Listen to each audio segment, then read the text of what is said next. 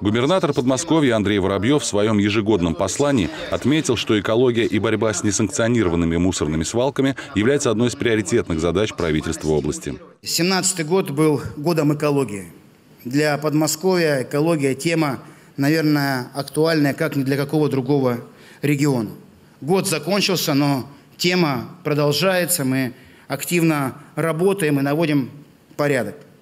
Площадь рядом с церковью села Ермолина – излюбленное место встречи местных жителей. Здесь же состоялась беседа с первым заместителем главы городского поселения «Видное» Федором Шиловым. Тему разговора чиновник обозначил сразу. У нас одна проблема. Менялись, менялись у нас компании по вывозу мусора.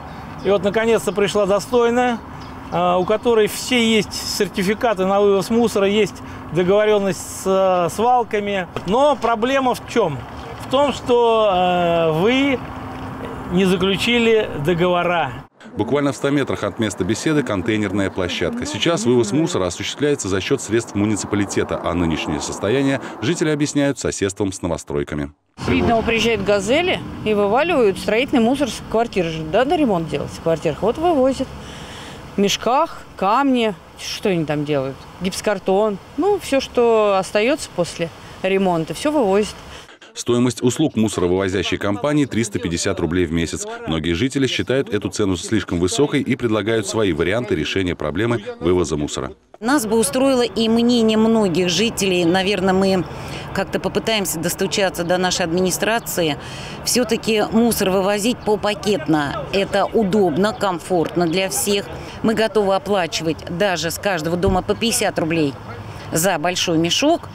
То есть, если они приедут нам раздадут эти мешки, мы будем наполнять, отведем для этого место и будем контролировать что вот скажут нам в среду вывоз мусора, мы готовы оплачивать это, этот мусор и то, что процентов, 100%, что нам его вывезут. Государственный административно-технический надзор регулярно проводит рейды по проверке наличия договоров на вывоз мусора. Штраф за отсутствие 5000 рублей. Но если и после этого его не будет, разбираться с хозяином дома будут уже судебные органы. Мы выдаем предписание об устранении допущенного правонарушения указываем сроки в нем. Если предписание в срок не устраняется, то составляется протокол о невыполнении законного предписания, и материал передаются в суд. Несмотря на доводы Федора Шилова, к новой мусоровозящей компании жители также относятся насторожно. Но староста села уверен, что найти компромисс возможно.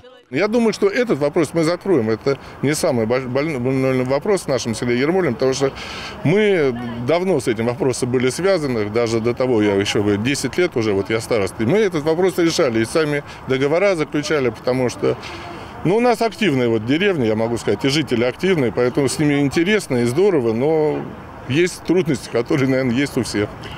В ходе беседы местные жители и представители администрации договорились встретиться и вновь вернуться к этой теме. Максим Козлов, Владимир Бежонов, Сергей Ларин. Видное ТВ.